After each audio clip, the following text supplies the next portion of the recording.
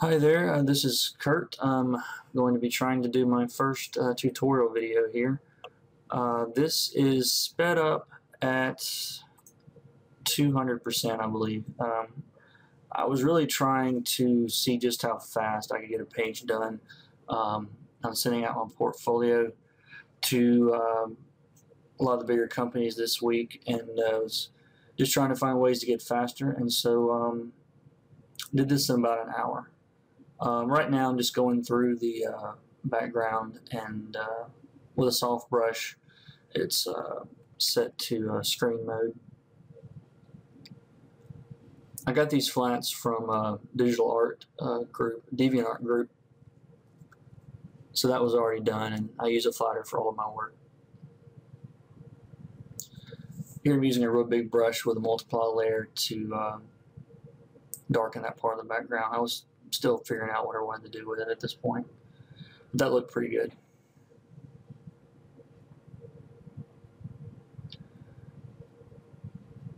And that gradient there to brighten that corner was done in a color dodge.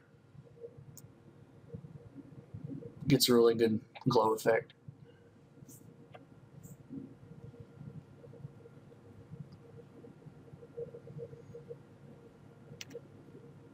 And what I'm doing to make selections here is uh, I'm using the magic wand tool and then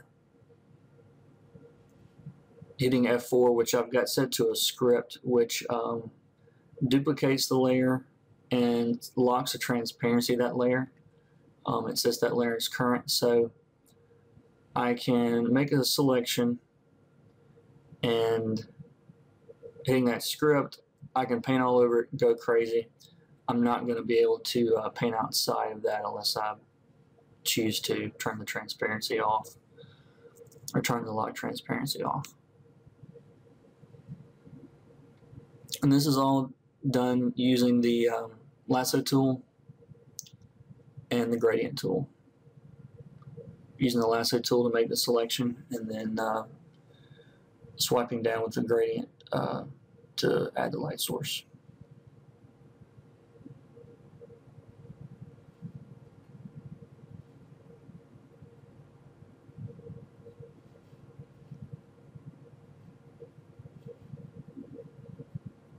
And I think this is a the uh, the uh, gradient is set to about 25% here. And if I need to go lighter, I can always go over it more than once. And I'm sorry if I'm assuming um, you uh, you know some of these terms. I hope you do. I guess this isn't really necessarily a true beginner's tutorial, but uh, if you have any questions, you can always leave comments. There's also a link to my Facebook um, in the description, so you can always contact me through there and uh, like my page and all that good stuff.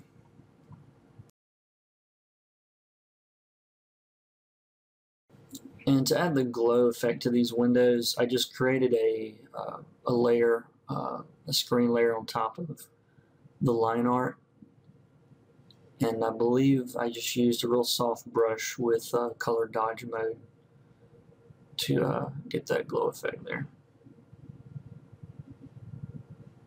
And I think I go back and change the color of that later because it's a little too green right now. Excuse me.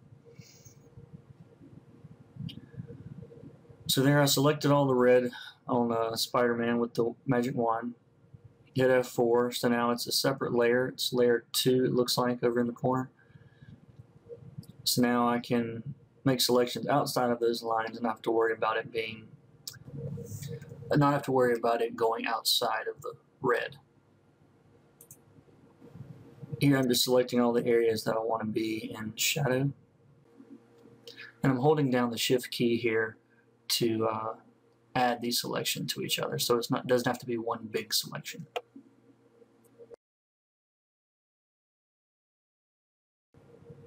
I'm going to set the color to a, uh, a bluish here if I'm not mistaken. Yeah, you can see in the corner there it's a pretty light blue in uh, multiply mode. and just brush that in with a soft brush. Because a real common mistake that I see in new colorists is they will uh, choose just a darker uh, version of the, of the main base colors. If, if they're going to color a red shadow, then they just choose a dark red. It's not necessarily always the best choice. Makes the makes everything look really flat because in reality, shadows always have uh, uh, some tone to them other than uh, what the base color would be. Same thing on the highlights here that I'm choosing now. I'm going to use an orange color. It's a swatch that I've got saved off the off the screen here that you can't see. But I can always go grab that color, put a gradient and color dodge mode here to make that um, that highlight and that way I can use that same color throughout the image on the other characters and it keeps everything looking uniform. Now I'm just going back making uh, stronger highlights in a couple of places. And you'll notice I'm still using the same same color. I'm just going over it multiple times to get the uh, brighter effect. And in hindsight, I should I should have done something with his feet there too, but I kind of forgot about him. This was really just for practice, so I wasn't trying to be perfect. The selections aren't really that clean either, but it works for these purposes. Now here I, I selected that dark shadow, just the dark shadow, and uh, used that same blue color uh, and filled it in um, on a gradient from the opposite direction the light source is coming from to give it a bounce light. And uh, that was just in uh, normal mode.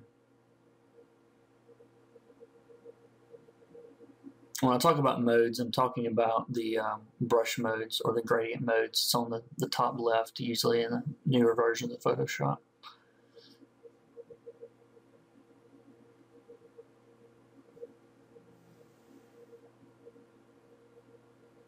I'm using Shift and Alt here with the lasso tool to add and subtract uh, selections. And I played with a, a couple of different uh, colors here for the for the light uh, for the highlight on the blue. Um, the orange that I used on on the red just was not working, so I think I went with a pretty light blue.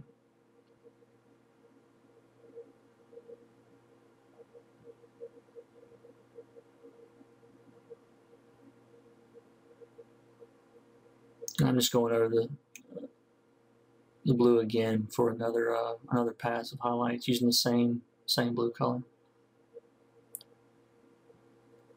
And uh, this is in, uh, I believe this is in screen mode instead of color dodge. Sometimes when you use color dodge too heavily, uh, it tends to just blow out the image, uh, makes it uh, too light.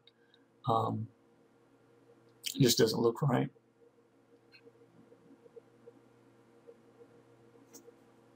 But for, for all highlights, though, uh, it's either color dodge or um, or screen for me. Here I'm selecting the darkest parts, and going over it with a uh, uh, multiply layer, darken them a little bit. Or multiply mode, I'm sorry, still on normal layer.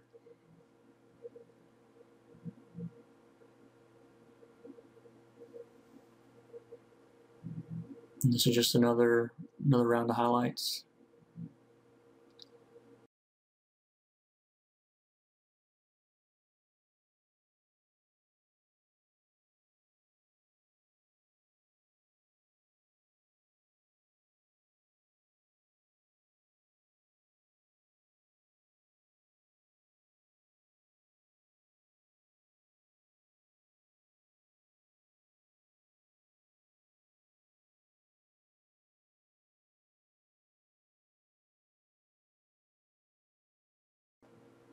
All this section here on, on, on her is using um, gradient and color dodge.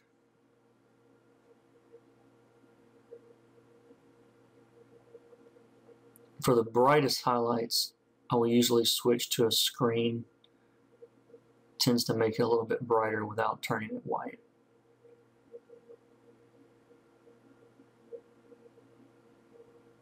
And then I just grab the uh, the darkest red there and ran over it with that blue multiply brush. It's at 17% right now, it looks like. 70% opacity.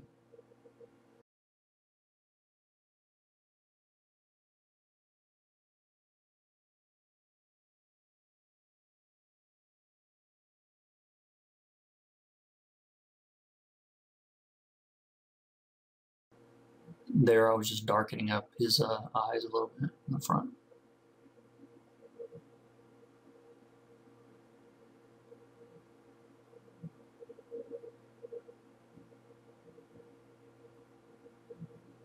And sometimes you'll see me darken things where they should be light, and that's just uh, me in the wrong mood.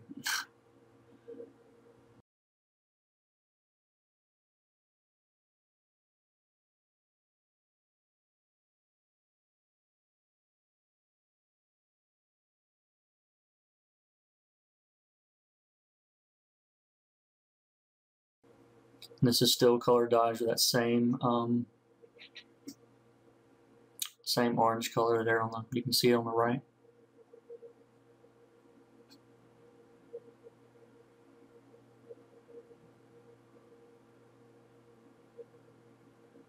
And I've got all these tools um, set shortcuts on the keyboard, so uh, I don't have to go to menus to choose tools very often. I still do sometimes, just out of old habits that haven't broken yet.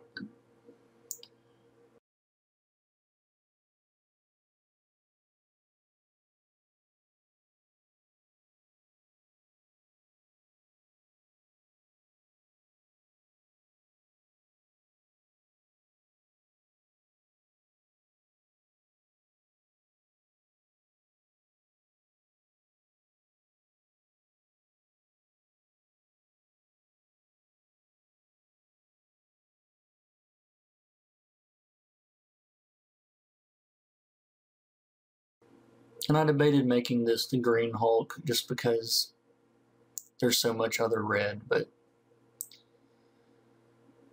it's not the Green Hulk, so it's the Red Hulk.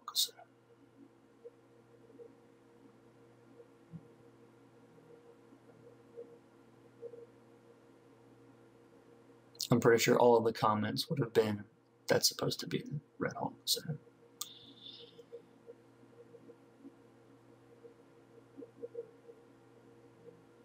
And here I'm just going over same thing I've done with the others, using the uh, lasso tool, highlighting all the areas that I want the highlight to be first.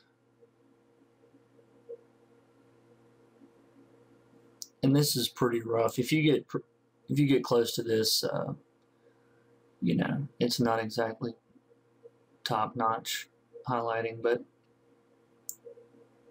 I was really just doing this for practice anyway.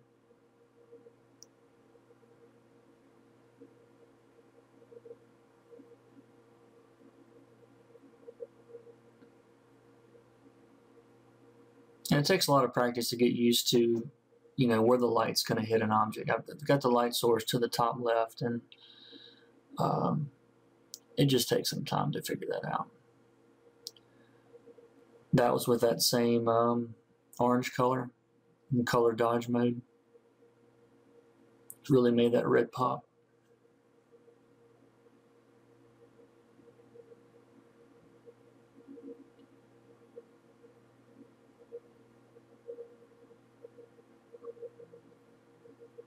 Yeah, these selections are pretty awful, but it works.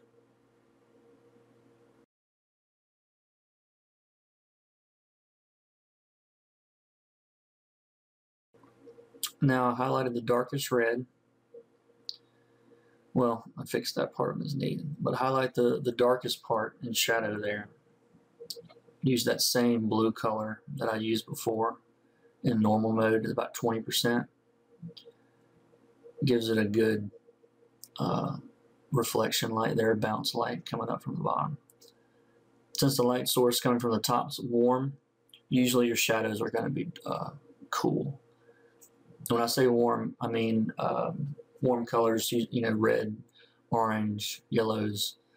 The cool colors being your purples and blues and sometimes green. So here I'm adding another uh, layer of bounce light, a little bit uh, brighter here.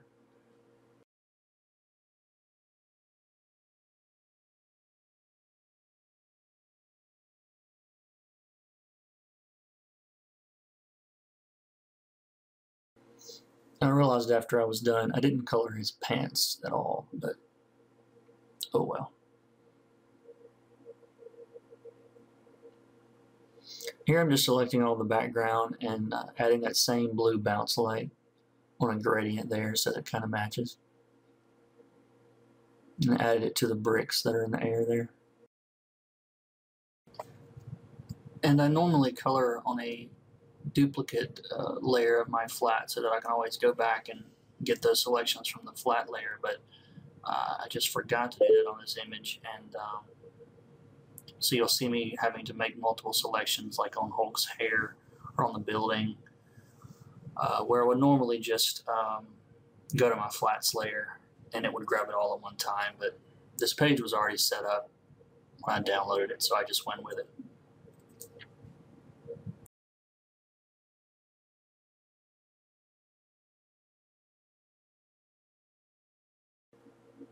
So it's, a very formulaic way to work. Um, it's um, it's really just a matter of moving from one section of color to the next. Um, it can be tedious at first if you're not used to it. Um, I am using a, um, a Wacom tablet. Uh, it's Intuos 2. It's about 10 years old, and it will not die. I, uh, I actually tried to use a uh, pen display um, you know, it's not a tablet. You're actually drawing and seeing uh, what you're drawing on a uh, on a display, you know, monitor tablet. And um, I didn't like it. I think I'm maybe the only person that ever tried that and didn't like it. But it was too much movement for me. Um, the tablet that I use is a six by eight, and um, I can get around the whole screen very quickly. Um, and uh, just the screen was too large. The movements were too big in my arms and um, my I say my arm, my my wrist and my forearm.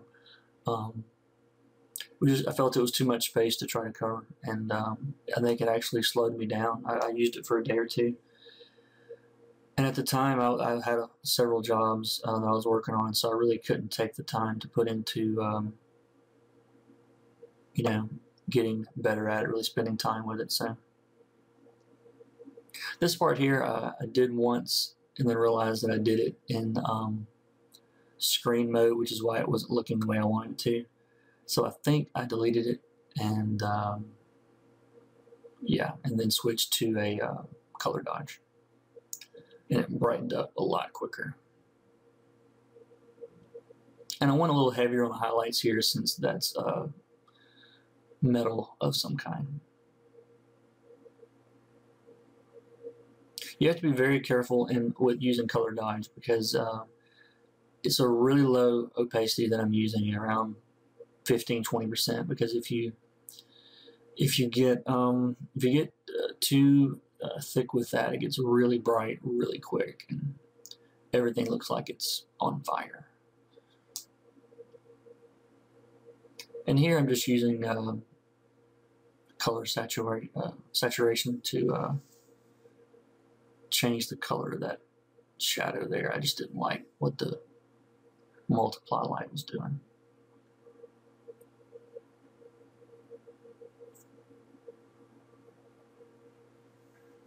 And I'm still learning at this myself. I've been doing it for a long time, but there's always um, other methods and ways of doing things. So there's stuff here that you may see, and oh, why do you do that instead of this? And I uh, haven't figured it all out yet.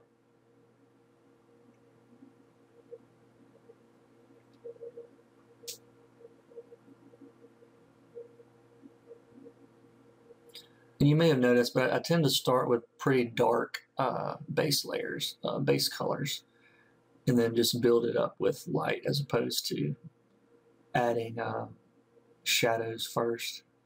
I think the only one that I did that to was Spider Man on here, where I added shadows first.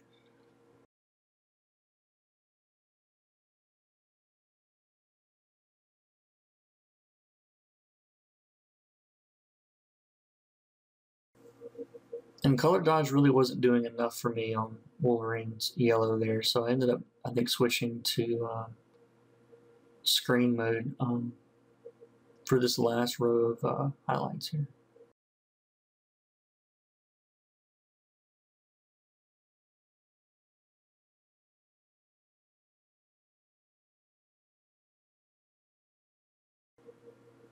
Adding that same blue in a normal mode darken those shadows up.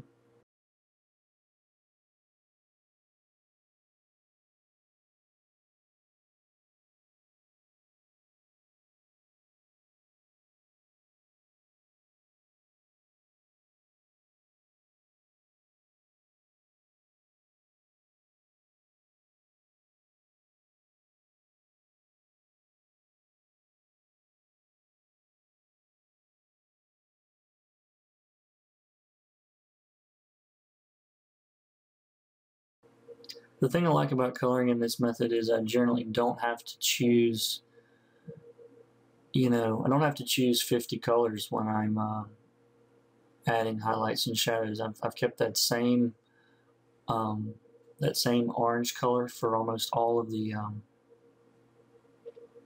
all the highlights here.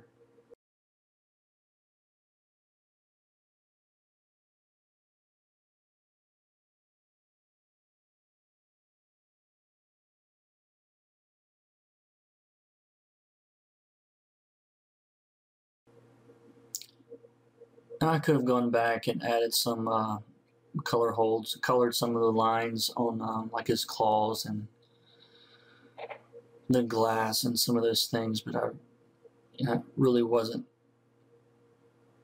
the goal. I wasn't really shooting for a super finished product here. Um,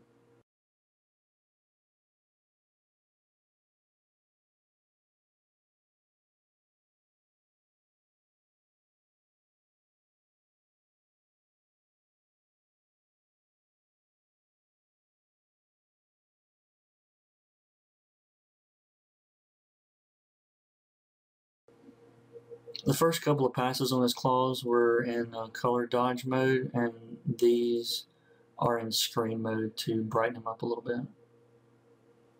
Still with that same orange color.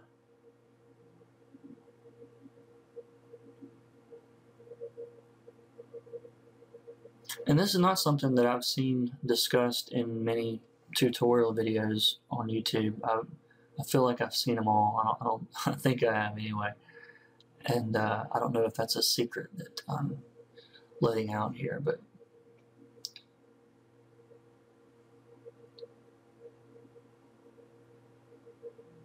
I also realized after the fact uh, the resolution on this image is pretty terrible. Um, I think it's at 72 dpi or something like that. So don't do that at home, kids. Check your resolution first.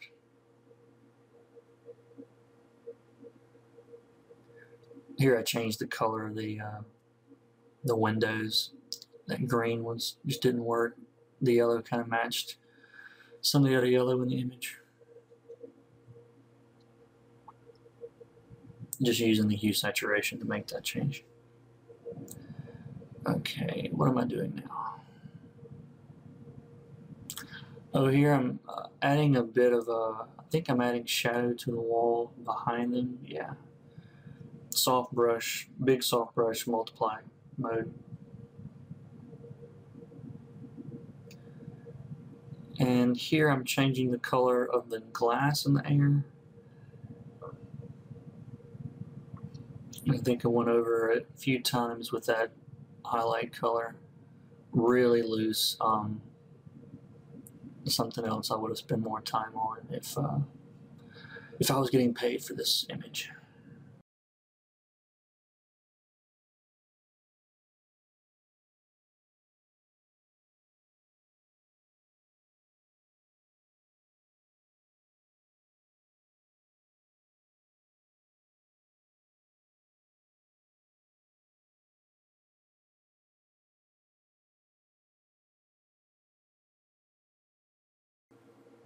Anytime you see me pan out like this, I'm really just looking at the whole image trying to see what needs to be done next.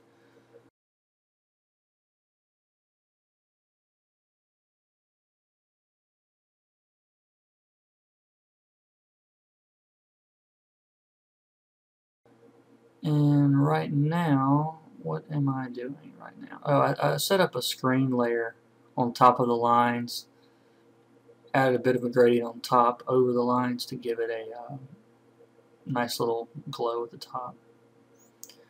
And then I realized I didn't color his uh, webbing. And I did this really rough and ugly, but I didn't feel like going around every little individual web at this point.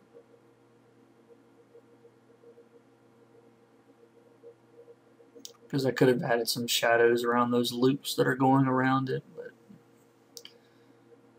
I think I was hungry at this point.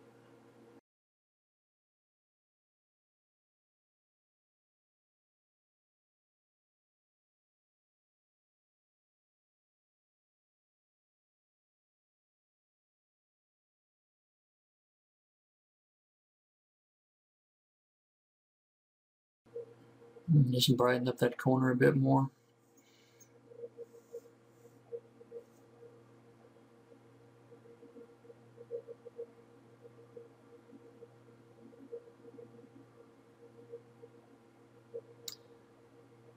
And here what I wanted to do was add a bit of uh, dust or atmospheric perspective, aerial perspective, whatever you want to call it, um, to separate uh, the characters from the background a bit. And I was trying, I was trying to select all the foreground using control in the layers, but I couldn't remember what the keystroke was for it. So I sort of goof around here a bit. What I ended up doing, I think, is just merging all of the characters together, um, which is normally how I color anyway. The, the flats that I was using was already uh, they were separated, so I just left them that way.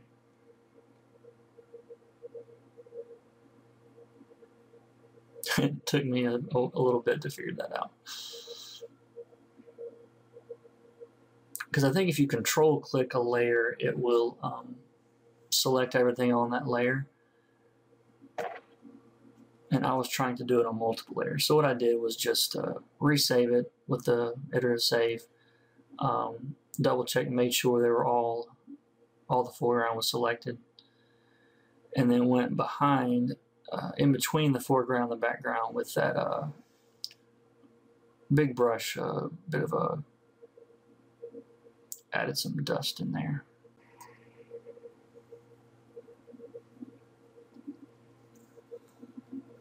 And then I went back to the um, the building in the far background and um, added another layer there to give it a bit of atmospheric perspective. Because the further back you go, the less detail you see, the lighter things get.